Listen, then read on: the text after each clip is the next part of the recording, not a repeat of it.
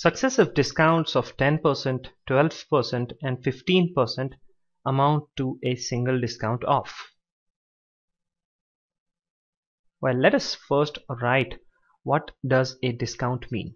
Well, when you have a discount of some percent, let's say D percent, then you always calculate the discount on the selling price. So discounted price is equal to the selling price reduced by the percentage of that discount. So selling price minus d percent of the selling price right? So minus d percent of selling price. And this is basically 100 minus d percentage of selling price. So with this let us solve this question. We have successive discounts of 10% 12% and 15% let us assume that the selling price is equal to 100 rupees right then we first have a discount of 10% which means that the discounted price will be 100 minus d percent of the selling price. So 100 minus 10 percent of the selling price which is 100 so I can basically write this as 90 percent of selling price. So 90 percent of 100 now this discounted price is again discounted to 12 percent right so again you are applying a discount of 12% on this discounted price. So 100 minus 12 is equal to 88. So 88% of this amount. Now again on this amount you are applying a discount of 15%. So you can again write 100 minus 15% of this amount. So 100 minus 15 is 85% of this amount. So this is actually I can write this as 85 upon 100 times 88 upon 100 times 90 upon 100 times again this 100 so this 100 gets cancelled out this 0 and this 0 get cancelled out. And when you solve this you will get 67.32 so the discounted price is equal to 67.32 now that's not what is asked. We have been asked what is the discount? So discount is equal to the selling price minus the discounted price. So the selling price is 100 here minus the discounted price is 67.32 so this is equal to 32.68 so I took the base as 100 that is the selling price is 100 so I can say that this is 32.68 percent. So the answer is option A The price of an article is raised by 30% and then two successive discounts of 10% each are allowed. Ultimately, the price of the article is. Well, let us assume that the price or the selling price of this article be 100 rupees. Now this selling price is raised by 30%.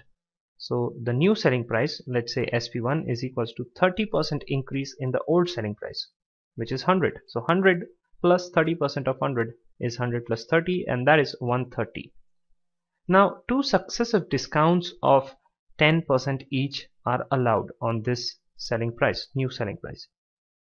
So the first 10% discount is equals to let's say sp2 is equals to 130 minus 10% of 130 so minus 13 so this is equal to 117 now on this 117 again a 10% discount is allowed.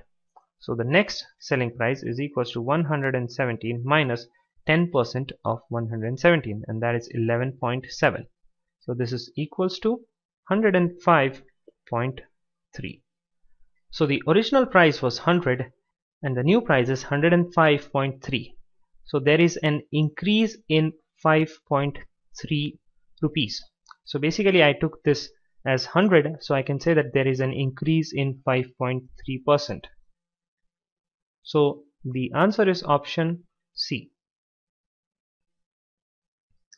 By selling an article at 2 fifths of the marked price there is a loss of 25% the ratio of the marked price and the cost price of the article is. Firstly let me tell you that mark price is the selling price right now it is said that by selling an article at two-fifths of the selling price, there is a loss of 25%, which means that if I sell the article at 2 fifth of the selling price it is equal to that the cost price is reduced by 25%. So cost price minus 25% of the cost price. Now assuming that this cost price is equals to 100 rupees, this selling price can be calculated out. So 2 by 5 of the selling price is equals to 100 minus 25 upon 100 times 100. So what I have is 2 by 5 SP is equals to 75. Therefore selling price is equals to 75 times 5 by 2. Let us keep it as it is. Now what is asked is the ratio of the mark price that is the selling price and the cost price. So selling price upon the cost price is equal to 75 times 5 by 2 divided by the cost price which we assume to be 100. So divided by 100. So this is equal to 75 times 5 by 2 times 100. Now 25 times 3 is 75 and 25 times 4 is 100. 15 by 8. So 15 is to 8 is the correct answer. A shopkeeper fixes the marked price of an item 35% above its cost price. The percentage of discount allowed to gain 8% is. First of all, let us assume that the cost price is 100 rupees.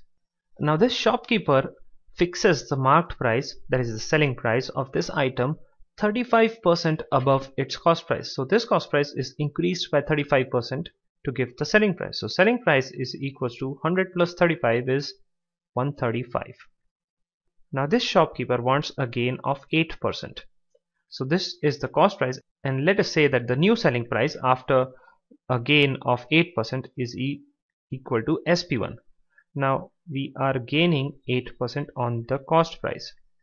So the new selling price will be 100 plus 8 that is 108 will be the new selling price but this is basically the discounted price isn't it? This selling price should be there after you give a discount on this price some percentage of discount. So let me again review this. You have the cost price. You increase that cost price to 35%. So we have the new selling price. And on this new selling price that is the mark price you give some discount so that you get a gain of 8%. So we want this discount percent. So discount percent is equals to the discount which is calculated on the selling price. So discount upon the selling price times 100.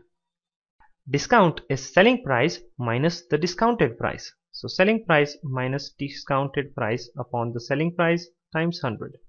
So this can be written as selling price is 135 minus 108 which is the discounted price divided by 135 times 100. So this is 135 minus 108 is 27 by 135 times 100. So 9 times 3 is 27 and 9 times 15 is 135 and 3 times 5 is 15 so this is equal to 100 by 5 and that is 20 percent. So the correct answer is option A